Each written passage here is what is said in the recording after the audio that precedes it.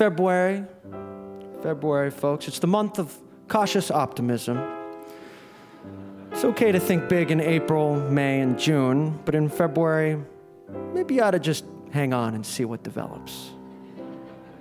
Try for honorable mention, no need to win. It's too darn cold outside.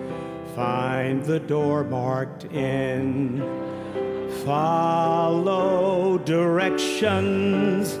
Don't be a dope. Drink a lot of liquids. Wash your hands with soap. Yes, you try to be good, to be better than average. Do a job that's okay, but try not to show off. Better than average, that's where to be. Good enough for